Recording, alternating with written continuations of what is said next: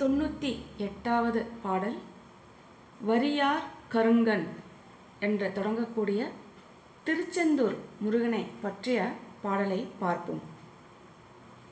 வரியார் கருங்கன் மடமாதர்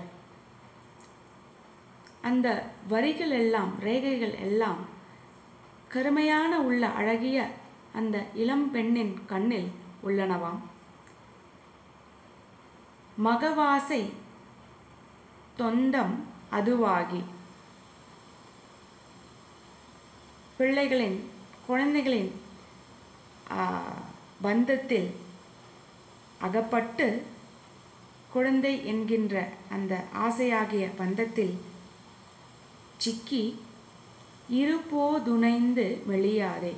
இரு என்றால் இரண்டு போது என்றால் பொழுது ஆகிய இரவு பகல் என்னும் இரண்டு பொழுதுகளும் மனம் நைந்து போய் மெலிவு அடையாமல் மெலியாதே மெலிவு அடையாதே. இரு தாளின் அன்பு தருவாயே. முருகப்பெருமானாகிய அந்த அழகிய இரு தாள்களின் திருவடிகளின் மீது நான் அன்பு கொள்ளுமாறு எனக்கு அந்த அன்பை தருவாயாக. பரிபாலனம் செய்து அருள்வோனே. பரிபாலனம் என்றால் ஆட்சி செய்து என்றும் கூறலாம் அல்லது காத்து ரட்சித்து அருள் செய்பவனே. பரமேஸ்வரன் தன் அருள்பாலா.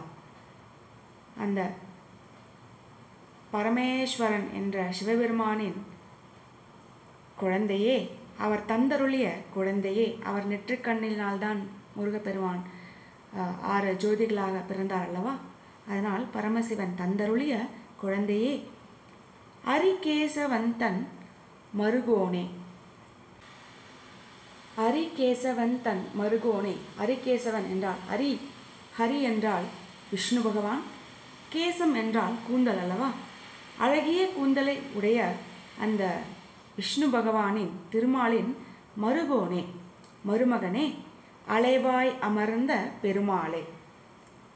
அலைகளெல்லாம் சூழ்ந்துள்ள திருசீரல் திருசீரலைவாய் என்று அழைக்கக்கூடிய திருச்செந்தூரில் அமர்ந்த பெருமாளே.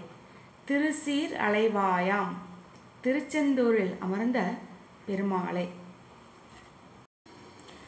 வரியார் கருங்கன் மடமாத மகவாசை தொந்தம் மதுவாகி. வரியார் கருங்கன் மடமாத மகவாசை தொந்தம் மதுவாகி இரு போதுணைந்து மெளியாதே இரு தாளின் அன்பு தருவாயே இரு போதுணைந்து மெளியாதே இரு தாளின் அன்பு தருவாயே. பரிபாலனம் செய்தருள்வோனே பரமேசுரன் தன் அருள்பாலா. பரிபாலனம் செய்தருள்வோனே. பரமேசுரன் தன் அருள்பாலா.